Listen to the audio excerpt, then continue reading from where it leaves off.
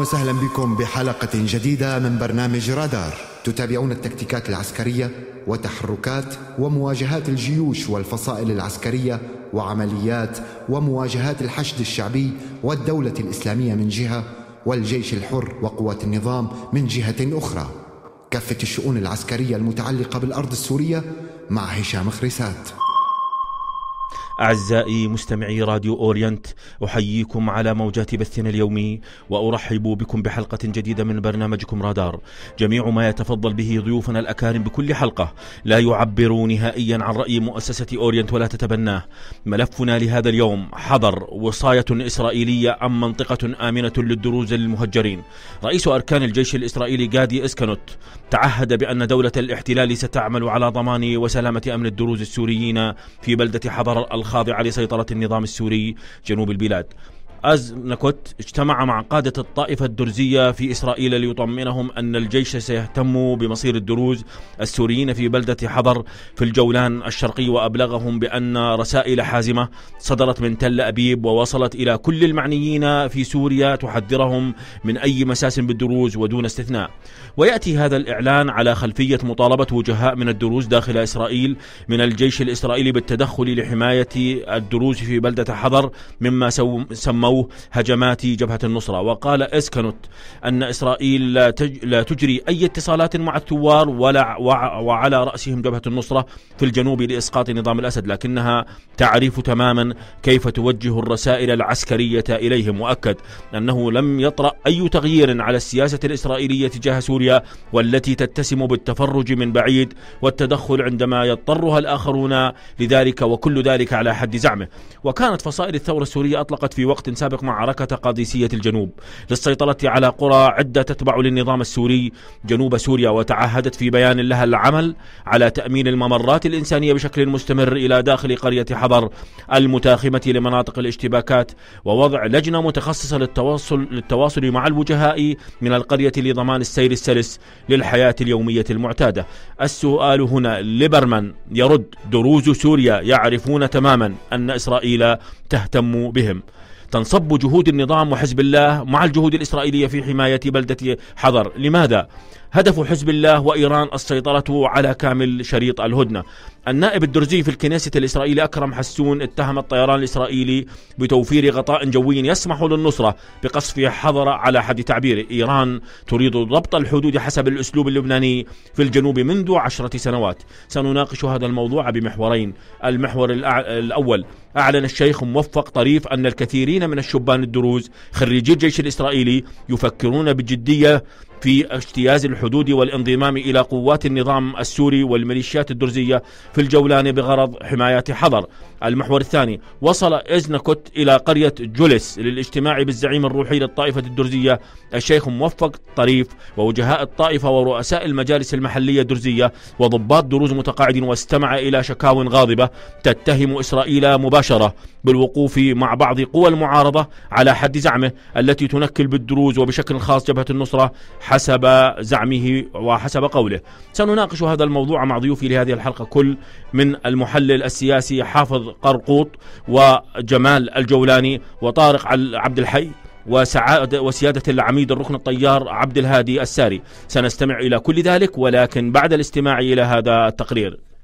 رغم سيطرة ميليشيات حزب الله عليها تعهدت حكومة الاحتلال الإسرائيلي بحماية حضر الدرزية. قوات الاحتلال الإسرائيلية أعلنت أنها ستحمي بلدة حضر الدرزية والواقعة في الجزء الشرقي للجولان المحتل والتي تسيطر عليها ميليشيا حزب الله اللبناني والتي تقاتل أيضا إلى جانب قوات النظام في سوريا. يأتي هذا الإعلان على خلفية مطالبة وجهاء من الدروز داخل الأراضي المحتلة بالتدخل لحماية الدروز في بلدة حضر مما أسموه هجمات جبهة النصرة. ونقلت صحيفة الشرق الأوسط يوم الاثنين أن رئيس أركان قوات الاحتلال الإسرائيلي يادي إيزاكوت اجتمع مع قادة الطائفة الدرزية في الأراضي المحتلة ليطمئنهم أن قواته ستهتم بمصير الدروز السوريين في حضر. في الجولان الشرقي. وأبلغهم أن رسائل حازمة صدرت من تل أبيب ووصلت إلى كل المعنيين في سوريا على كافة المتصارعين تحذرهم من أي مساس بالدروز. من جهتهم الدروز في الأراضي المحتلة قالوا إن قوات الاحتلال الإسرائيلي مقصرة في حمايتهم.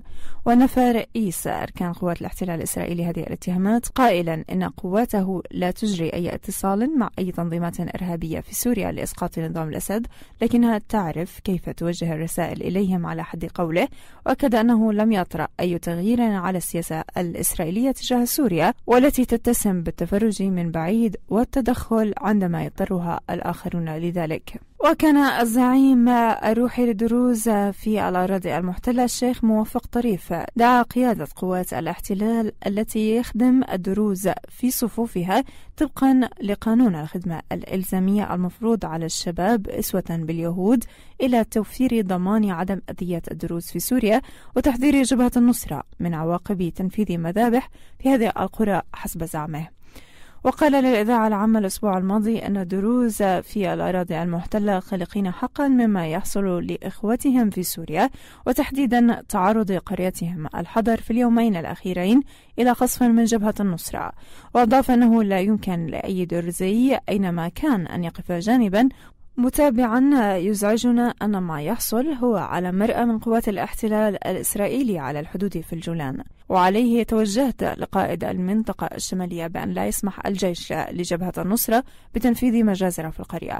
وتقول المؤشرات على الأرض حتى الآن بحسب نشطاء أن الهدف من سيطرة ميليشيا حزب الله على الحضر هو تحويلها إلى جنوب آخر على غرار الجنوب اللبناني لتكون منطقة يعمها الهدوء. وسبق أن أرسلت ميليشيا حزب الله ابن القيادي عماد مغنية وجنرالا من الحرس الثوري الإيراني من أجل إنشاء قاعدة دائمة في حضر فضلا عن جهود سمير قنطار انتهت بقتلهم جميعا من قبل قوات الاحتلال الإسرائيلي. نرحب بضيوفي على المحور الأول كل من المحلل السياسي حافظ قرقوط والمحلل السياسي جمال الجولاني وسيادة العميد الركن الطيار عبد الهادي الساري. أهلا وسهلا بكم.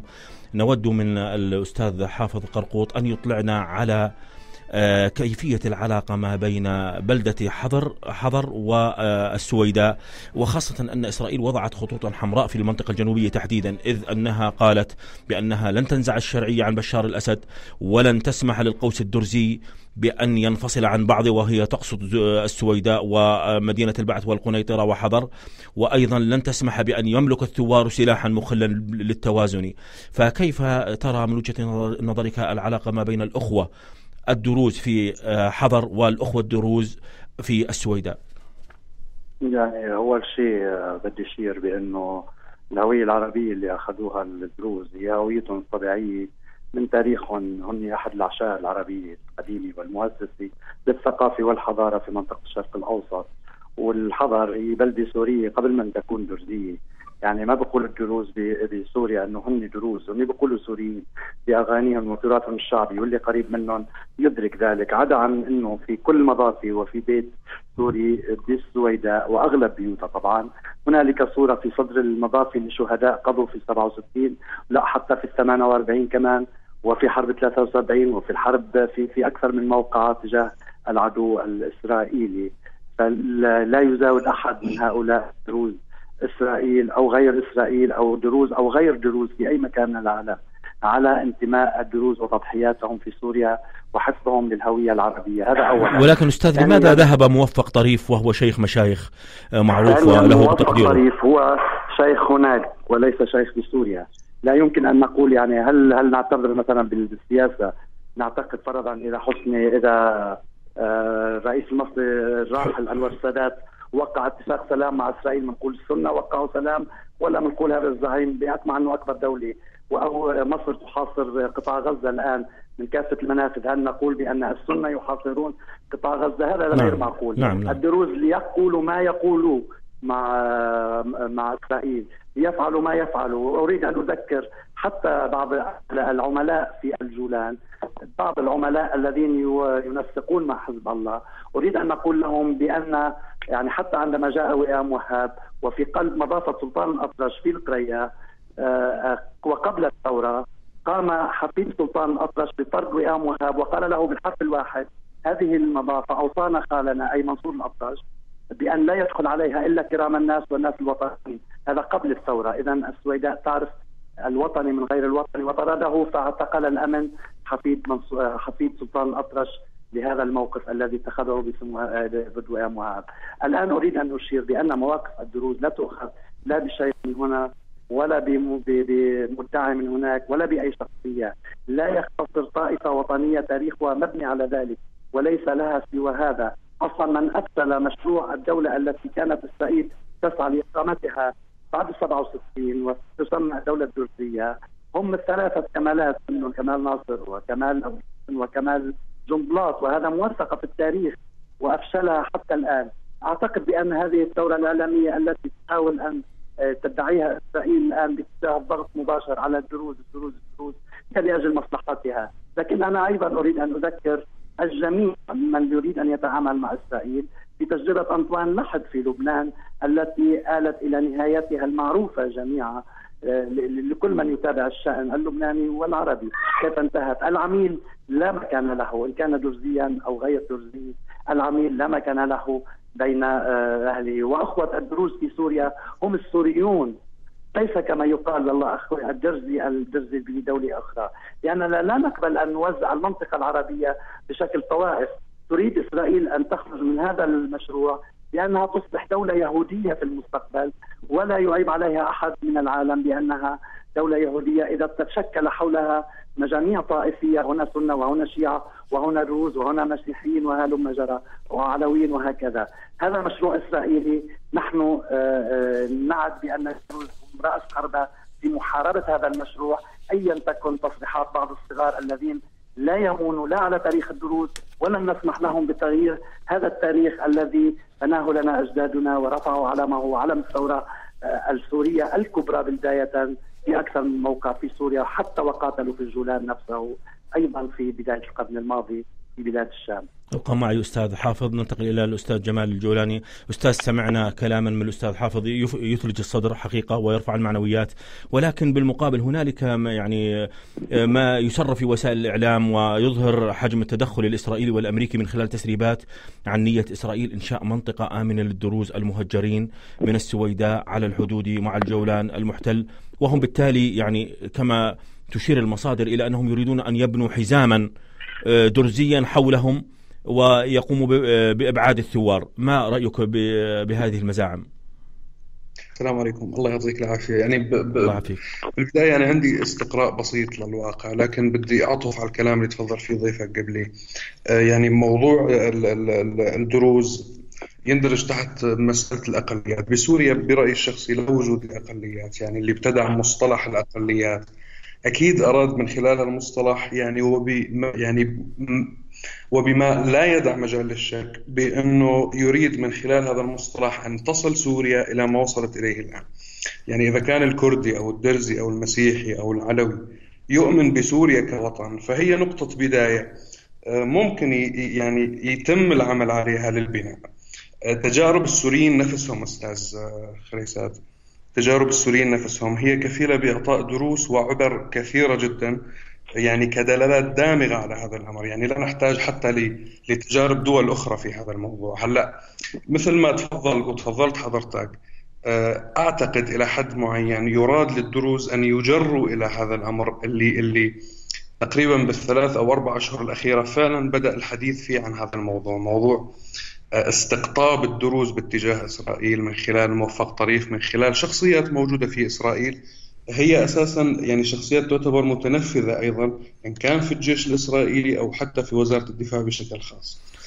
يعني الموقف اللي أمامك الآن أستاذي الكريم آه، معقد لكن يعني بساطة وتبسيط الموقف بتعقيده يعني بنفس الوقت، أنت تشوف الآن إسرائيل آه، دعمت كل الأطراف بلا استثناء اللي موجودة على حدودها. يعني إسرائيل إلى حد بفترة معينة كانت داعش متواجدة بالقنيطرة على حدود إسرائيل تماما في منطقة القحطانية. آه، شهداء اليرموك اللي هم جيش خالد بن الوليد اللي هو فعليا داعش إلى الآن موجود على حدود إسرائيل. آه، بالمقابل إسرائيل التي يراها الجميع الضامن الأول لبقاء بشار الأسد في السلطة بدمشق هي الوحيدة التي قصفت وضربت الأسد على مدار الأربع سنين السابقة. هلا من جهة ثانية أنت عم تشوف إسرائيل المتخوفه على الدروز من النصرة. دعمت جبهة النصرة أيضا وباعتراف بنيامين نتنياهو اللي برر دعم إسرائيل لجبهة النصرة بأنه ضمان أمن إسرائيل وليس لتعزيز قدرتها. المسألة معقدة تماما في في في في في المنطقة القريبة من حدود الجولان المحتل اللي هي القنيطرة وجزء من درعا. لكن أرجع أكرر لك وأكد لك بأنه بساطة الموضوع وتبسيطه بحد ذاتها تندرج تحت تعقيد هذا الموضوع. يعني الأمر إلى حد معين يبدو مضحك. يعني إسرائيل تدعم النظام وتقصف النظام وتدعم النصرة وخايفة من على الدروز من جبهة النصرة. فالأمر آه، يعني يوضح تماما بأنه تصرفات إسرائيل هاي تندرج تحت بند واحد وسياق واحد لا ثاني له اللي هي مصلحتها الشخصية. فإسرائيل ما عندها مشكلة الاطلاق تخطب الدروز أو إلى حد معين تورط الدروز بعلاقة مع إسرائيل بتخويف الدروز من النصرة، تخويف الدروز من الجيش الحر من السنة من من من إلى آخره. مع العلم يعني عطفا على ما تفضل في ضيفك مع العلم بأنه الميليشيات التي تقاتل في حضر ليست كلها دروز يعني في سنة من أهل القنيطرة أنفسهم من خان ارنب ومن مدينة البعث ومن مناطق أخرى في علويين في مسيحيين في من كل الملل. فعليا وما يعرفه الجميع إلى حد معين الدروز في سوريا وقفوا على الحياد إلى يعني ككتلة وكجسم وكمكون درزي هو واقف على الحياد من بداية الثورة. مع العلم بأنه بمراحل معينة بجزئيات معينة انحاز للثورة أو بجزئيات معينة انحاز للنظام لكن ككتلة وك يعني كمكون وطني سوري إلى الآن الدروز محافظين على حالهم وهذا برأيي الشخصي هو شيء جيد إلى حد معين. أه، أستاذ جمال ولكن يعني شيء يعني السؤال يطرح نفسه. هو لماذا أه، سعادة الشيخ موفق أه، طريف؟ يعني يوكل نفسه بنفسه عن دروز سوريا وكما سمعنا من الأستاذ حافظ يعني هو يعني غير موكل أنه يتكلم باسم دروز سوريا. والمشكلة أن دروز سوريا لم يخرج أي شيخ من المشايخ. يعني يرد على سعادة الشيخ موفق طريف في هذا الموضوع. والأغرب من ذلك أن إسرائيل وجهت إنذارا سريا. آه، لفصائل الثورة ولقوات النظام وكل من هو يتقاتل في سوريا الآن بأن الاقتراب من منطقة حضر يعني بكل صراحة اللي هو الاقتراب من قيادة المنطقة الشمالية في الجيش الإسرائيلي. صحيح صحيح. يعني ملف موفق طريف ملف قديم بالنسبة للسوريين. يعني في كلمة شهيرة لنتنياهو بال 2014 أذكر قال هذا طريف. قال له أنتم قطعة من لحمنا. يعني موجه كلامه لموفق طريف أو شمل وعن الدروز بشكل عام. نعم. عموما استاذي الكريم يعني شخصيه مثل موفق طريف لا تختلف كثيرا عن أحمد حسون أو عن شيخ سني موالي للنظام يبرر مجازر النظام يفتي بقتل الأطفال من من طرف السنة. برأيي الشخصي لا يفرق بشكل كبير عن عن هؤلاء. بالتأكيد في أشخاص آه، لهم علاقات وعلاقات وطيدة مع إسرائيل من دروز حتى في داخل سوريا ليس فقط في الجولان في الجولان المحتل. لكن آه، آه، نحن عم نتكلم عن المجمل يعني عم نحاول قدر الإمكان نشوف كاس نص الكاس المليان بأنه الدروز إلى حد معين وبشكل واضح تماما لا يزالون بموقف يعني إيجابي إيجابي ليس تجاه الثورة تجاه سوريا كدولة آه، بعد سوريا كدولة ممكن تجاه الثورة. عموما أرجع اكد لك يعني شخصيه مثل موفق طريف بالنسبة لي وبالنسبة حتى للكثير من من المطلعين على الوضع يعني من الإجحاف بصراحة إني أفرقه مثلا أو أو أنك والله يعني تميزه عن شخصية مثلا مثل أحمد حسون أو مثل أي شيخ أو قسيس أو خوري ساند النظام أو قاتل إلى جانب النظام. نعم. أه، ابقى معي أستاذ جمال. الآن أه، سننتقل إلى موجه قوات أه، القوات الجوية سيادة العميد الركن الطيار عبد الهادي الساري. أهلا وسهلا بك سيادة العميد ضيف عزيز علينا. أنت تعلم أن مسرح العمليات الجنوبي مصنف من الناحية الاستخبارية ونحن ضباط يعني نعرف كيف يقسم. مسرح العمليات في المنطقة الجنوبية مسرح عمليات معقد بيئة أمنية خطرة وواجبات حساسة. الآن رغم سيطرة حزب الله على على حبر وإسرائيل أيضا تتعهد بحمايتها وقوات النظام تتعهد بحمايتها في ظل وجود المنطقة الجنوبية والتي لا أحد يعلم عنها وثلاث محافظات في تلك المنطقة. لا أحد ينتبه إلا لشيء واحد وهي تلك القرية وهي حضر. والنقطة الأخرى يعني الغريبة هي لماذا جبهة النصرة تقترب من هذه القرية وهي خط أحمر؟ أم تريد أن تشعل المنطقة الجنوبية ضد الثوار؟ ونحن لا نريد أن نوضح أكثر من هذا الكلام. مساء الخير دكتور هشام لك ولضيوفك ولمستمعيك. في الحقيقة آه، موضوع آه، حضر وموضوع الدروس في سوريا وموضوع الدروس في إسرائيل موضوع آه، شائك وأخذ حيزا إعلاميا كبيرا وخاصة في الإعلام العبري وكان له غايات وأهداف هذا الإعلام من شد الطائفة الدرزية المتواجدة في إسرائيل باتجاه ما يجري في سوريا. وكثيرا ما حدث هناك من تشجيع إعلامي ولقاءات بين بعض الشخصيات الدرزية المتواجدة في إسرائيل حول شحذ هممهم باتجاه الداخل السوري. الهدف منه إقحام هؤلاء في المعمعة السورية وما يحصل في سوريا. وأنا أقول للدكتور حافظ أهلا وسهلا بك أخي وصديقي آه، بأن آه، الدروز هم آه، واحدة من الشرائح الاجتماعية الهامة في سوريتنا وسوريتنا الحبيبة. ونحن أخوة في الأرض وفي السلاح وفي الدين. نحن يعني على علاقة تامة مع كل الأخوة الدروز في سوريا. لكن هناك توصيف لا بد منه وهناك أمور وحقائق لا بد من أن نتكلم بها بشكل صريح آه، لنضع آه، يدنا على الجرح فهناك خمسة حقائق يجب أن نعلمها ويعلمها الجميع. اولا هي اولا أن يبلغ عدد سكان الدروز في إسرائيل حوالي 134 ألف آه، نسمة في إسرائيل. جلهم أو أغلبهم متواجدين في الكرم وجبال الجليل وبالقرب من حيفا. وهناك عشرين ألف تقريبا آه، يعني متواجدين في شمال آه، الجولان المحتل والدروز في المتواجدين في الجولان المحتل الإعلام ثانيا ثانيها أن الهوية الدرزية المتواجدة في إسرائيل هم يقرون بأنهم دروز اولا وبأنهم إسرائيليين ثانيا ويعترفون بعربيتهم في المرحلة الأخيرة. الأمر الثالث أن زعيم الطائفة الدرزية طريف المتواجد في آه، آه، آه، إسرائيل أو في الجولان هو على علاقة حميمه مع نتنياهو وكما تكلم صديقي في السابق أن نتنياهو أشار إليه وقال أن الطائفة الدرزية هي من لحمنا ودمنا وإلى ما هنالك من تشجيعات ومن كلام معسل لهذه الطائفة. الأمر الرابع أو الثالث على الرغم من أن إسرائيل لا تلزم العرب في آه، وجودهم في الجيش الإسرائيلي أو آه، آه، أن يتطوعوا في الجيش السوري إلا أنها ألزمت الطائفة الدرزية في إسرائيل بأن ينتسبوا إلى الجيش السوري. ورأينا الكثير من الدروز الجيش الإسرائيلي ورأينا الكثير من الدروز آه، آه، انسجموا مع هذه الفئة من الجيش الإسرائيلي ورأيناهم ينتسبون إلى الجيش الإسرائيلي بكثرة وكتيبه السيف المتواجدة في إسرائيل والتي تم حلها مؤخرا لأهداف أخرى سنتكلم بها لاحقا. آه، هذه الكتيبه والتي كان جلها من أبناء الدروز في إسرائيل أيضا هم كان لتواجدهم ولانتسابهم كان هدفا آخر. هذا يدل على أن لإسرائيل أهداف وتريد أن تبرزها في الآونة الأخيرة اتجاه وحيال ما يحدث في سوريا، الأمر الرابع هو أن آه، وضعوا الدروس في مكان معين وفي زاوية معينة وفي آه، مثل ما كما تكلمت في الجليل الأعلى وحوالي منطقة الكرمل أو مدينة الكرمل آه، والمناطق الأخرى المتواجدة حولها.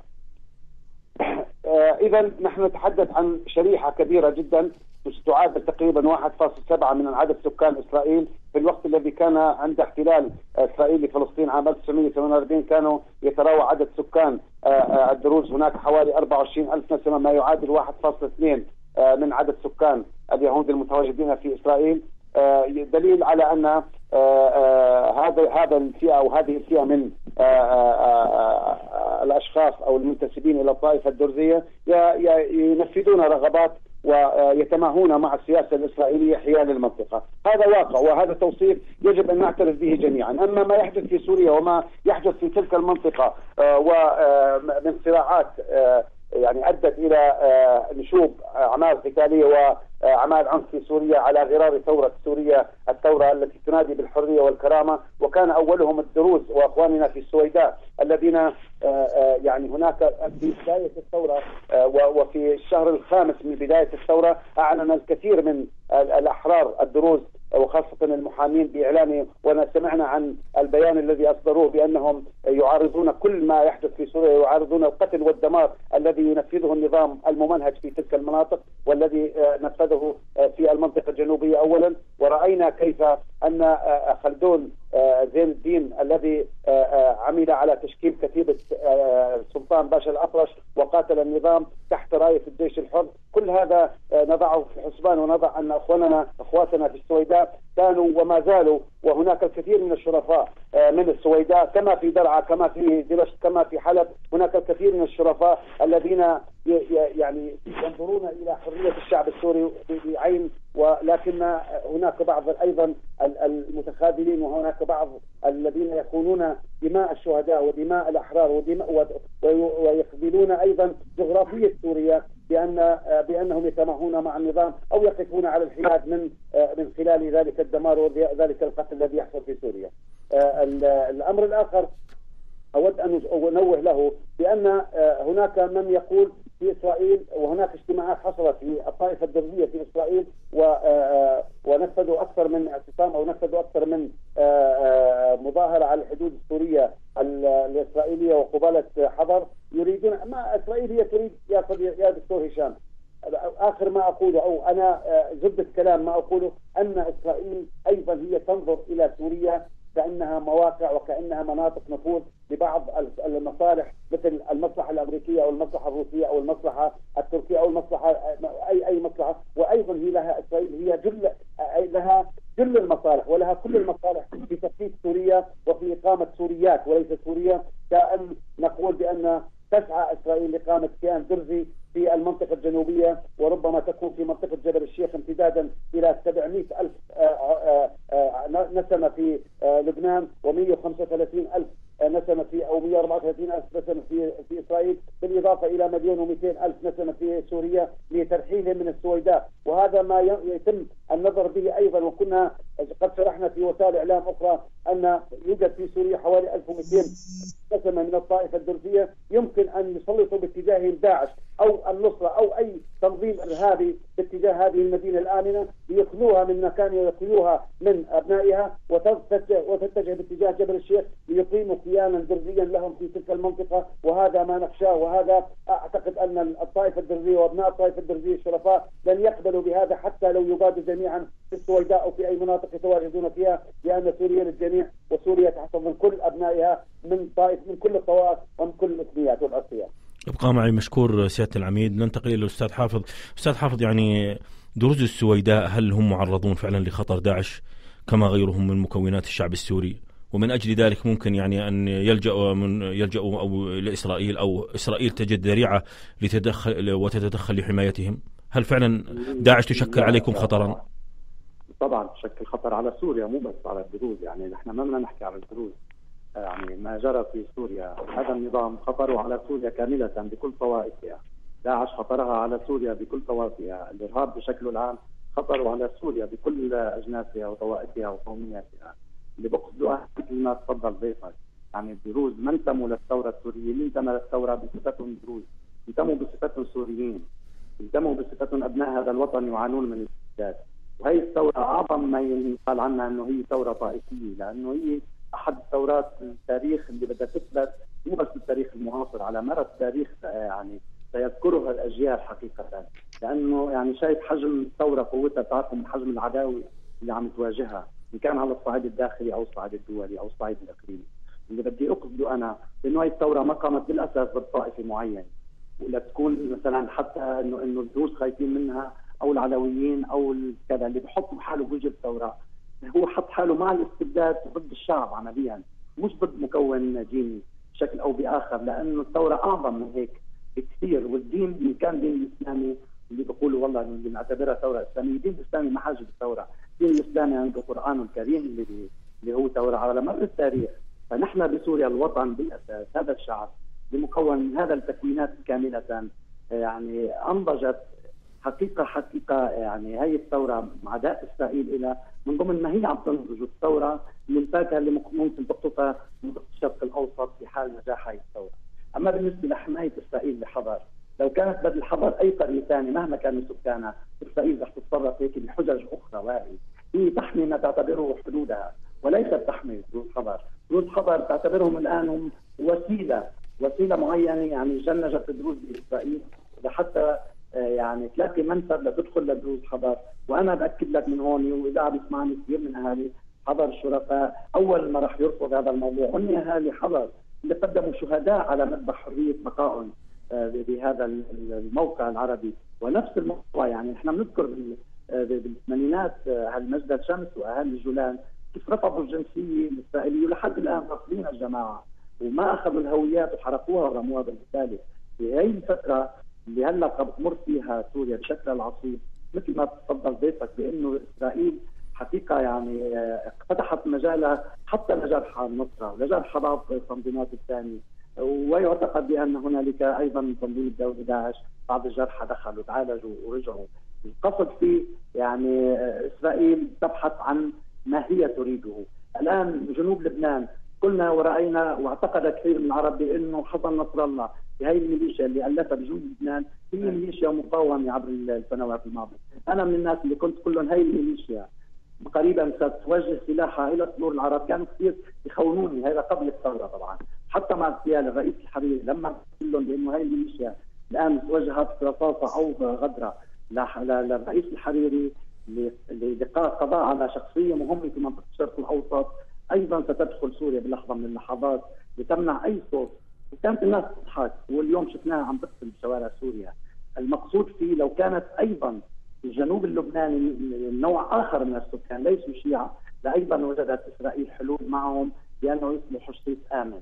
يعني شريط آمن إلى اللي هلا عم بيحاولوا يقولوا فيه إنه بده يمتد لسوريا عبر وجود حزب الله في في بعض مواقع الجولان آه السوري. الآن تركيبة الجولان مثل ما تفضل تشريح بعض الفصائل حقيقة يعني بما في جبهة النصرة الأساسية، إذا قويت جبهة النصرة في هذيك المنطقة أكثر من اللازم حقيقة إسرائيل رح تلاقي أكثر من طريقة أيضا لتطمينها بأنه نحن بنطمنكم ما بنعتدوا علينا ما بنعتدي عليكم، نوع من الصفقات المتبادلة، بس اللي بدي احكيه وأشير له بشكل مهم بالنسبة للسوريين إنه أنا يعني أنا ما داخل بهذا البرنامج أو غيره لدافع عن دروز، أنا أدافع عن ثورتي عن سوريا. هذا الموضوع فيه. آه، أنا كحافظ طبعا. وأعتقد بأن الدروز والسنة والمسيحيين والعلويين وأي شخص انتمى إلى هذه الثورة إن كان شخص حالي أو كانت جماعة منتمي إلى بعضها لن تنجح هذه الثورة إلا إذا انتمينا إلى كسوريين مش كابناء أشكال وألوان. وحقنا في سوريا هو الحق اللي مارسه أجدادنا بعلاقاتهم الطبيعية مع بعضهم واللي ورثونا إياه حقيقة. لكن اللي بدي اشير له إنه إسرائيل لم تحمي طريق حضر لحضر. أيضا تحمي نظام الأسد هنالك يعني تخلى هي عن نظام الأسد إذا بدنا إياه. يسقط النظام. ونرجع من لا حلول نحن وأنتم لقريه حضر إلى هذا الموضوع. يعني فشل الثورة من عدمه ما واقف على قرية بتعد لها كم نسمه مثل قرية حضر بمكان نائم على الجغرافيا السورية حاليا. ولا حركة أي حركة باتجاه العاصمة أو باتجاه تحرير المدن الأساسية في الطريق نحو قصر المهاجرين. لكن التوازنات اللي عم تحاول تعملها إسرائيل لتخفي حتى مثل ما قال تناقضها بانه هي تسقط النظام من جهة لكن لن يسقط النظام ليؤدي دوره، يؤدي دوره بشو؟ الاسد مو بس بتدمير سوريا، بتهشيم المجتمع السوري، بانه يوصل المجتمع السوري ليوقف على السجنات يتناقش كدرزي ومسيحي وعلوي وسني. مو يتناقشوا كسوريين ببرلمانهم ولا بمؤسساتهم ولا ببناء دولي ولا بتعميم اطفالهم أو مناهجهم، هذا للأسف ما تريده إسرائيل ونخشى بأن نقع في هذه الحفرة في لحظات ما أن ندرج حتى نقاشاتنا كدرزي مسيحي إلى هذا الطريق الذي نأسف أن تصل إليه الثورة السورية حقيقة، لكن طالما أن هنالك خطورة وتعقيد فيما تعتقدون بأن وجود الدروز إن كان هنا أو هناك أو في إسرائيل أو في الأردن أو في لبنان هو يشكل حرج يعني دروز لبنان بموقف شخصي بحجم وليد جنباط في الشرق الأوسط بتعبر عن حالها ليه ما بناخذ هذا مثل؟ مثلا وناخذ آه، طريق مثل طريق ليس ليس نموذجا للدروز وليس قدوة للدروز قد يكون وليد جبلاط للدروز فرضا. قد تكون منتهى الأطرش من سلطان الأطرش بخطابها ال ال ال الواضح في دوما وهي أول من اتهمت هذه الأسرة بالدماء. قد يكون بعض رموزنا كسميح شتير اللي بأغنيتي ولع المشاعر السورية كلها. قد يكون الدكتور فيصل القاسم اللي ببرنامجه عبارة عن جيش في وجه هذا النظام. وانت تعرف كيف حطم هيبه هذا النظام فيصل القاسم بتعصمته اللي بقصده أنا إنه سوريا الآن في موقف حرج. علينا أن نعيد البيت السوري أن نقول للدروز أو للمسيحيين أو للسنة على الدروز أن يقولوا للسنة. مع إنه أنتم أخوتنا قبل ما يكون الدرزي يعني نحن عندنا مثل يا أخي بشوارعنا. بقول لك جارك القريب لخيك البعيد يعني أنا إذا وجعني راسي بالسويد ما بدي لاقي أقرب واحد ابن درعا إلي. هذا واحد. اثنين فشل النظام على طول لا يقل عن 70 كيلو متر من حدود الأردن من قرية دبين جنوبا على حدود الأردن لقريه آخر مكان ل صور الكبيري المحاذي لا درعا. باتجاه دمشق طول هذا الحدود بيعرفوا أهل السويدة وأهل درعا ما في نظام.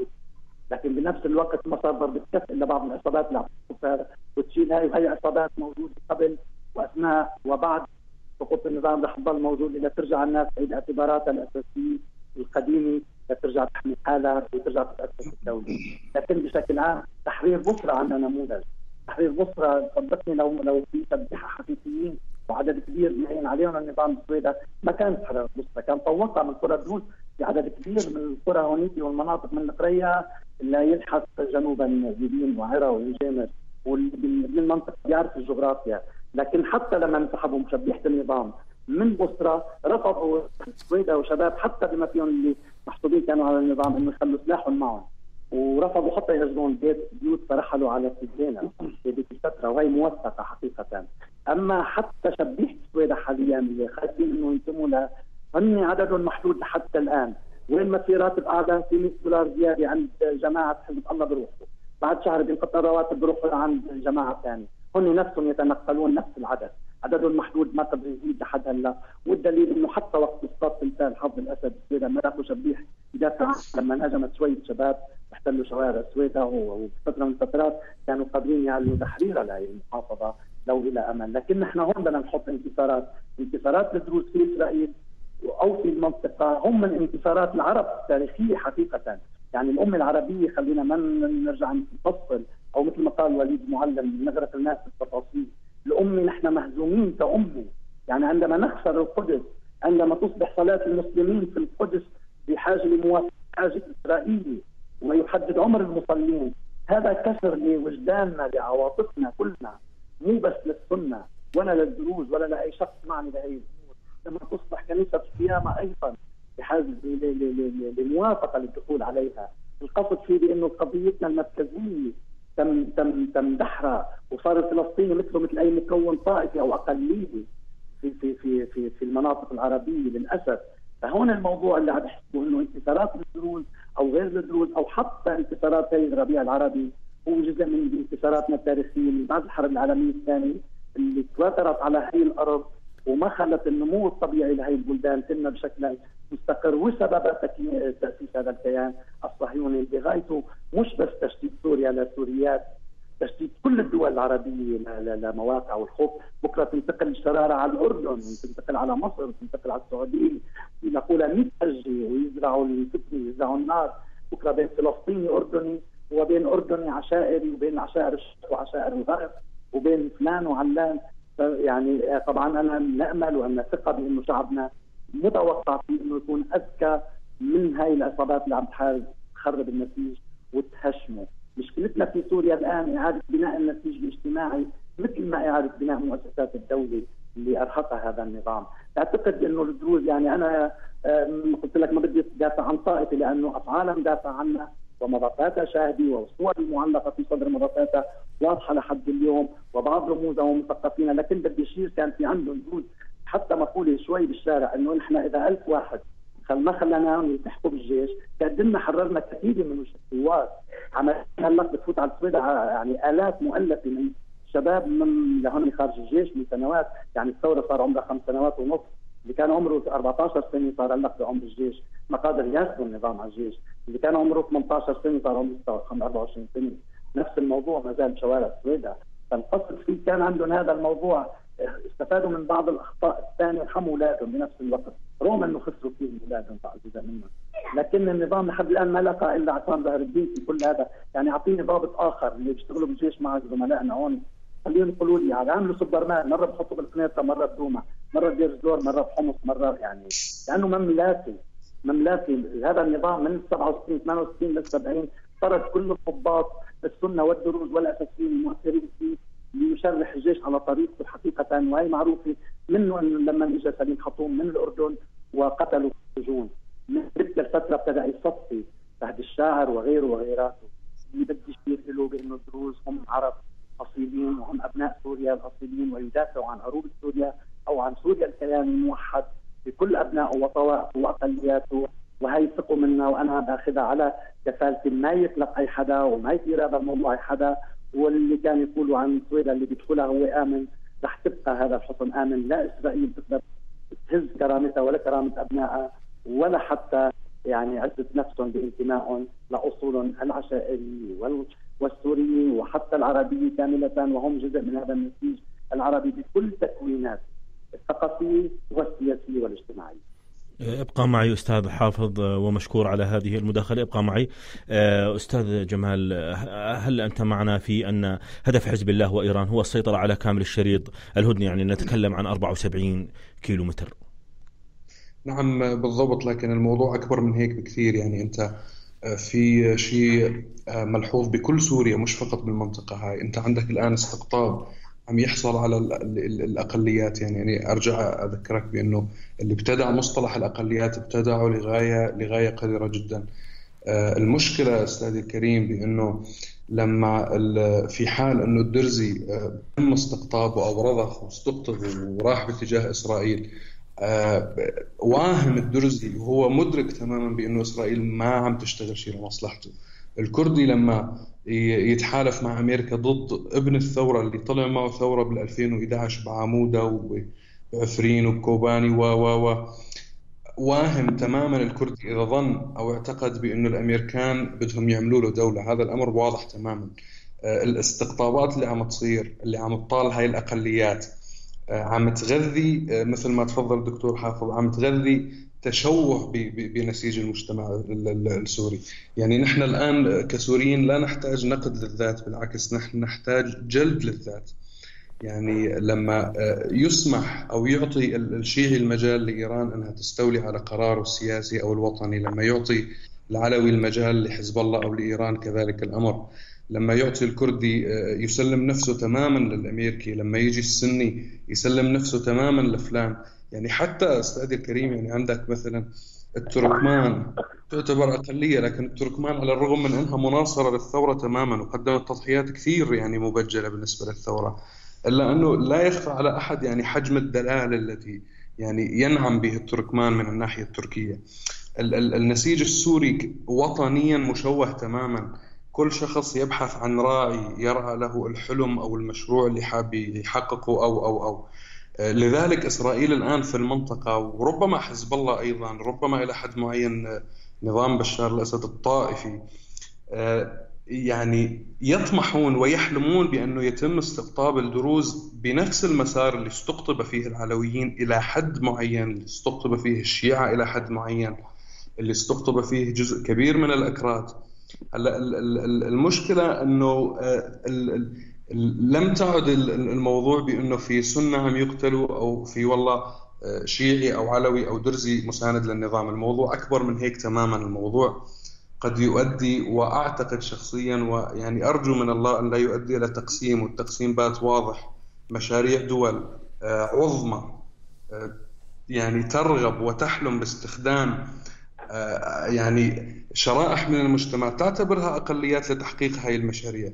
يعني أنا مثل ما تفضل الدكتور حافظ أنا تقريبا من أسبوع رجال الكرامة في في في السويداء ألقوا القبض على سيارة آه، يعني كانت مليئة بالذخيرة بدها تتوجه للبيع باتجاه مناطق داعش ألقوا القبض عليها. الأشخاص اللي كانوا عم يهربوا هاي السلاح والذخيرة لداعش هم من شبيحة النظام. هلأ بصرف النظر عن اعتبارهم أنهم دروز أو سنة أو أو أو هم بالنهاية شبيحه نظام عم يساعدوا مين؟ عم يساعدوا داعش. بالمقابل أستاذي الفاضل رجال الكرامة اللي هم معروف نفسهم وروحهم مع الثورة واللي يعني كان زعيمهم المرحوم الشهيد وحيد البلعوس الله يرحمه. يعني مجموعة من الأشخاص هم دروز ومن أهل السويدة وموجودين إلى الآن بالسويدة. والنظام لا يجرؤ على المساس بهم ويعني قام باغتيال زعيمهم.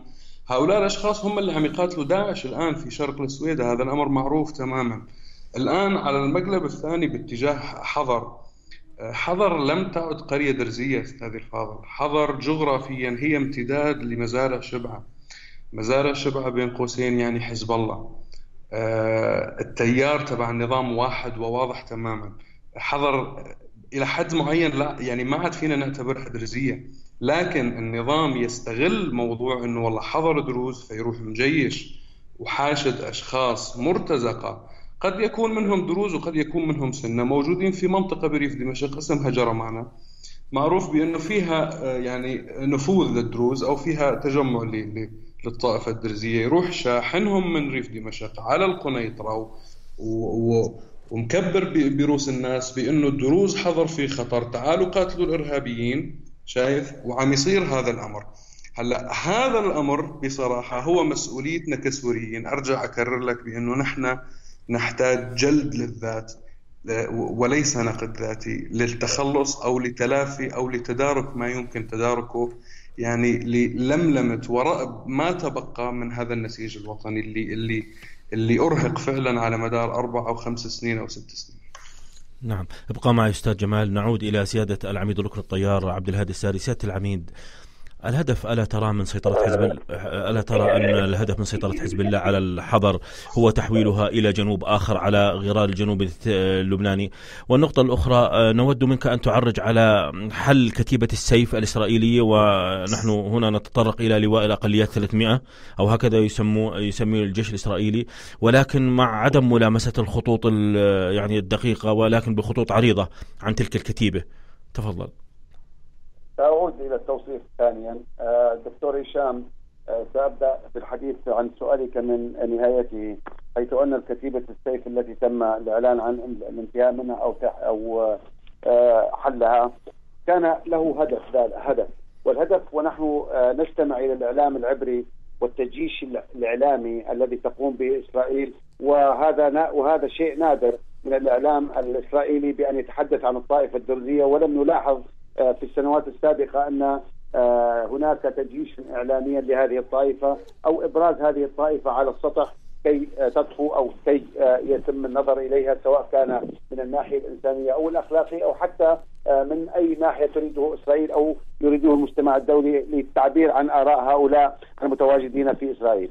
أقول إسرائيل حلت كتيبة كتيبة السيف لأن هناك آلاف من آه، الشباب الدرزي المتواجد في إسرائيل وقعوا على وثيقة بأنهم سيسافرون باتجاه سوريا للقتال والدفاع عن الدروز المتواجدين فيها آه، خوفا عليهم من أن تحصل يحصل لهم كما حصل للازيديين أو الآشوريين المتواجدين في العراق آه، وبأن داعش هي ستقتلهم وستذبحهم وستشردهم وستسبي نسائهم هكذا صور لهم من خلال الإعلام العبري. نعم.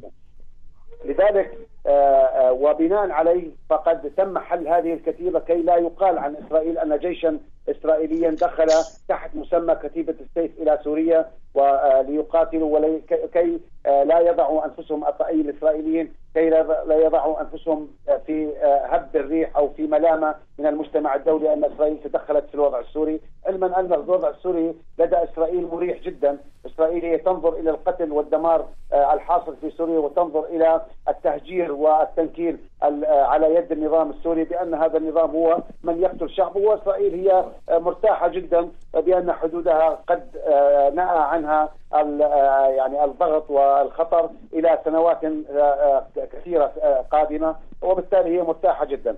أما أنا اريد أن أشير أيضا إلى وثيقة الدم بين الدروز إسرائيل ويهود إسرائيل حيث وقعت هذه الوثيقة منذ زمن بأن هناك تقارب وقربه بين الدروز واليهود. هذه توصيف أيضا كي لا يؤثر على أحد.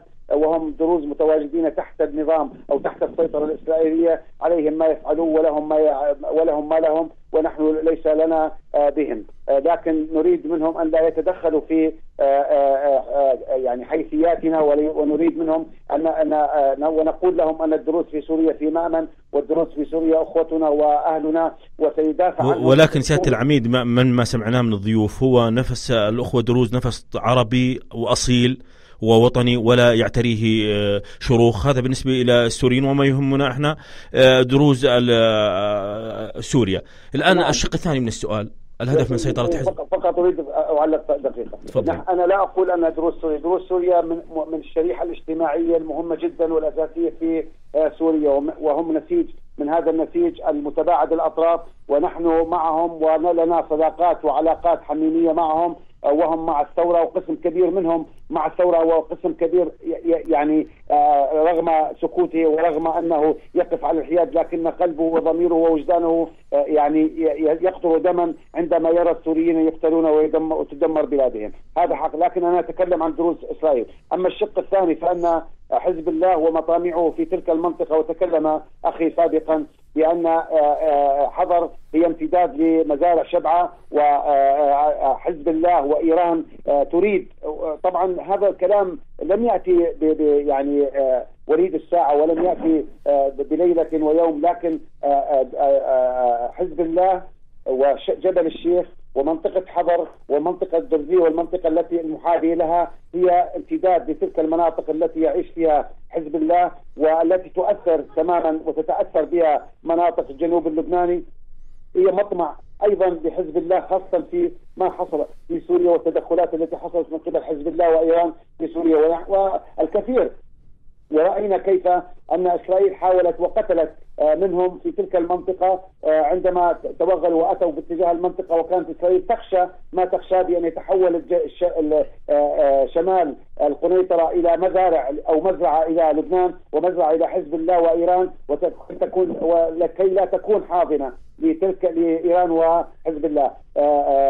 الكثير من دروز الموالين لحزب الله آه، آه، أتوا إلى تلك المنطقة وحاولوا التجيش وحاولوا دفع الأموال واتوا بالسلاح إلى أبناء المنطقة من الدروز والمسيحيين في تلك المنطقة وضموهم إلى لواء الجولان ولواء الجولان بالمناسبة هو أقوى الألية التشريعيه في المنطقة الجنوبية وفي منطقة القنيطرة حصريا ويقاتلون بشراسة أكثر من قتال قوات النظام ضد آه، قوات المعارضة وقوات الثورة السورية. سيادة العميد الشكر الموصول إلى الأستاذ الدكتور حافظ قرقوط والأستاذ جمال الجولاني وسيادة العميد الركن الطيار عبد الهادي الساري كان معي من الهندسة الإذاعية والإخراج الزميل مشهور نحنيطي في نهاية الحلقة نشكر باسمكم ضيوفنا الأكارم ونشكر لكم حسن المتابعة وإلى لقاء يجمعني بكم هذه اغلى أمنياتي. على دقة قلبك